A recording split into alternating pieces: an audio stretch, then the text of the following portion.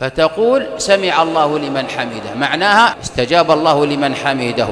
ولذلك إذا رفعنا ماذا نقول؟ ربنا ولك الحمد. سمع الله لمن حمده. نقول ربنا ولك الحمد. فيقول وهذا هو الواجب ربنا ولك الحمد. هناك زيادات. على كلمة ربنا ولك الحمد. هذه هي الواجبة. وقد جاء في الصحيحين ربنا ولك الحمد بالواو. وجاء في الصحيحين ربنا لك الحمد بدون واو.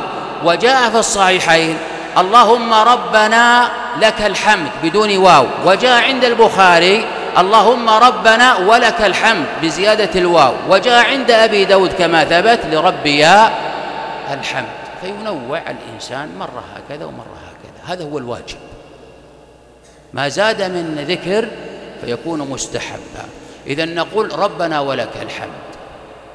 فيه زيادات من مجموع ما جاء في آه، صحيح مسلم وفي غيره في الصحاح وفي السنن. إذا قلت ربنا ولك الحمد تزيد. حمدا كثيرا طيبا مباركا فيه مباركا عليه كما يحب ربنا ويرضى.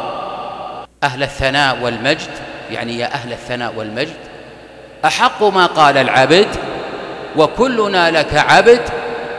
اللهم لا مانع لما أعطيت ولا معطي لما منعت ولا ينفع ذا الجد منك الجد.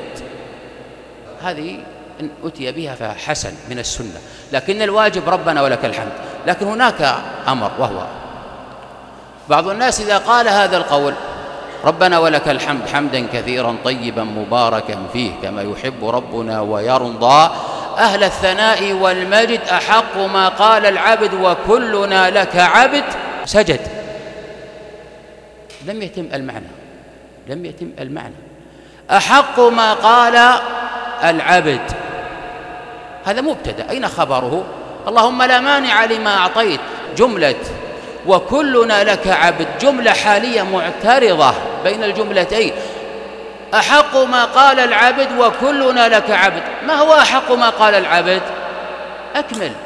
اللهم لا مانع لما أعطيت ولا معطي لما منعت ولا ينفع ذا الجد منك الجد. تنبه لمثل هذه لأن البعض أحق ما قال العبد وكلنا لك عبد. الله أكبر. أين التكملة؟